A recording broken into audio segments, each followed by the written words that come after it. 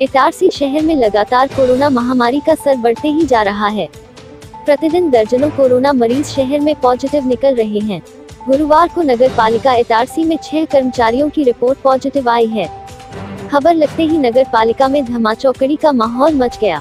वही आनंद फानंद में एक दिन के लिए नगर पालिका ने बाहरी व्यक्तियों को प्रवेश पर पाबंदी लगा दी है। नगर पालिका में संक्रमण पहुँचने की खबर लगते ही कर्मचारियों के बीच भय का माहौल बन चुका है। वहीं नगर प्रशासन लगातार जय स्तंभ आरोप बिना मास्क पहन कर निकालने वालों पर कार्रवाई भी कर रहा है। लेकिन संक्रमण तेज़ी से बढ़ रहा, इसके साथ ही शहर में कोरोना महामारी से मरने वालों की संख्या भी बढ़ती जा रही है।